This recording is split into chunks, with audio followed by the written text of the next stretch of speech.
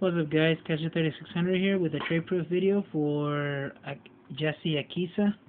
I'll be sending her these cards right here. Um,